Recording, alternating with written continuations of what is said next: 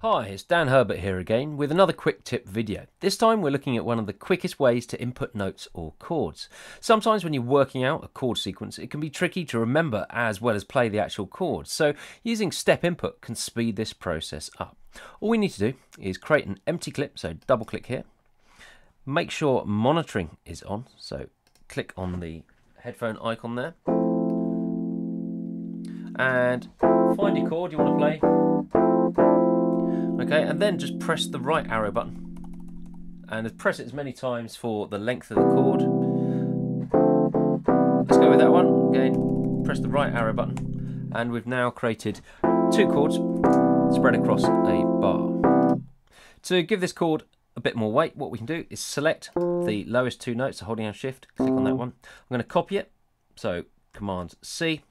Then I'm going to transpose it down an octave. So hold down shift key with one finger, press the down button with the other. Now let's have a listen to that. And then paste in the original. So it's now a much more solid sound.